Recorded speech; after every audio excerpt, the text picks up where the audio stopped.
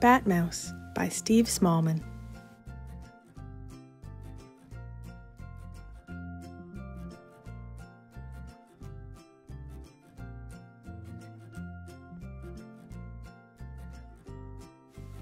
Bat Mouse by Steve Smallman.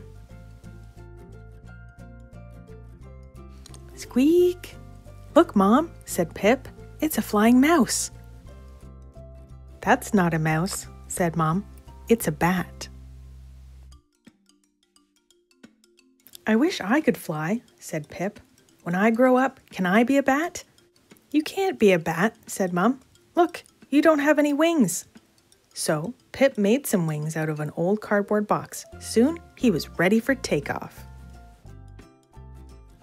Look, Mom, I'm a bat mouse. Pip rushed around, squeaking his squeakiest squeak and flapping his cardboard wings up and down, he just couldn't fly. So he tried again, and again, and again. He flapped till he flopped, tired and dizzy on the floor. Never mind, Pip, said Mum. To cheer him up, she made his favorite meal stinky cheese and cracker crumbs. At bedtime, Pip couldn't get comfortable. His wings kept getting caught in the blanket. That's because bats hang upside down when they sleep, said Mum. Pip tried lying upside down, but he still wasn't comfortable. The next morning, Pip climbed up to the top of Windy Hill. Time to fly, he squeaked. Flapping his wings as hard as he could, Pip jumped. Bump! He landed on his bottom and rolled over and over and over all the way down the hill. Pip's head was spinning, his bottom was bruised, and his wings were all tattered and torn. Then he heard a familiar sound. Squeak! It was coming from inside a little cave. The cave was dark and spooky, but Pip tried to be brave. Hello? he squeaked. Hello? said an upside down voice. I'm Albert. Who are you? I'm Pip, Pip Pip Pip, and I'm a bat mouse. Really? asked Albert. But you seem to be the wrong way up. Oops, sorry, said Pip, and he stood on his head. Your wings look a little cardboardy, said Albert. My real wings haven't grown yet, said Pip.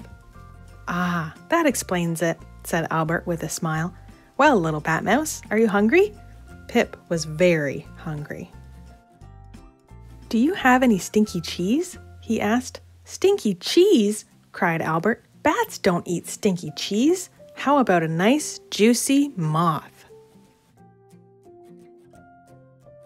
Pip looked at the moth and burst into tears. I'm not a bat mouse, he blurted. I don't want to live in a spooky cave or eat moths or hang upside down, but I really, really want to fly. Then fly with me, said Albert, just this once. He picked up Pip and carried him out into the twinkly twilight sky. They soared over Windy Hill, through the treetops, and finally landed right outside of Pip's house. Well, little bat mouse, whispered Albert, do you like flying? I think so, said Pip, who felt dizzy and scared and excited all at once. Thank you, Albert. As Albert fluttered away, Pip spotted a big pile of dirt.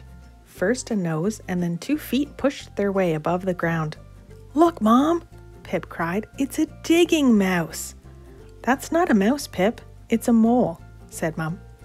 When I grow up, can I be a mole? asked Pip.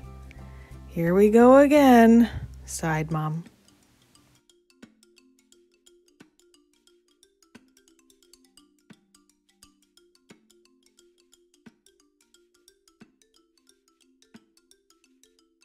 The end.